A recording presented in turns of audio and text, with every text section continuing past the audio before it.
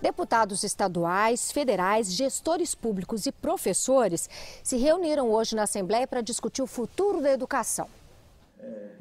O Plano Nacional de Educação tem 20 metas e mais de 200 diretrizes. O desafio é tirar do papel essas medidas que vão do fim do analfabetismo às formas de financiamento.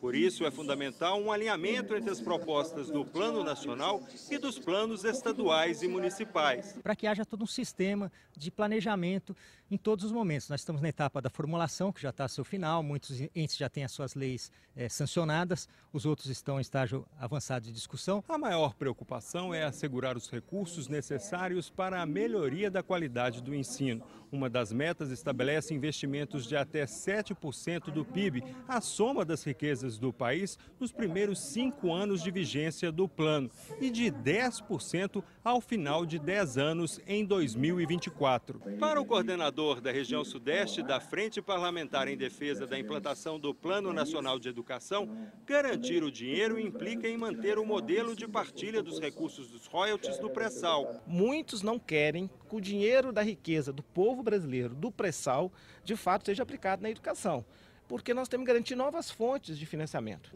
Em Minas, segundo a secretária de Educação, são duas as preocupações: o financiamento da educação infantil e o atendimento aos jovens de 15 a 17 anos. A gente tem mais de 150 mil que estão fora da escola e dos que estão na escola, 40% deles ainda no ensino fundamental. O combate às desigualdades no Estado e a humanização do ambiente escolar também foram destaques. Belo Horizonte, por exemplo, sou professor da rede municipal. Alguns anos atrás, ela teve um projeto muito bom. Ela pegou as escolas que tiveram os piores resultados do IDEB e colocou nas escolas uma maior quantidade financeira, para que as escolas tivessem condições de exatamente implantar projetos que atacassem essas dificuldades da escola. Que a gente possa ter, além da formação para a, o, o, profissionalismo ou para o ingresso na, na, academia, que a gente possa ter uma educação mais cidadã, preparar as pessoas para mais do que serem bons advogados, bons médicos, bons engenheiros, possamos ter bons cidadãos na nossa sociedade.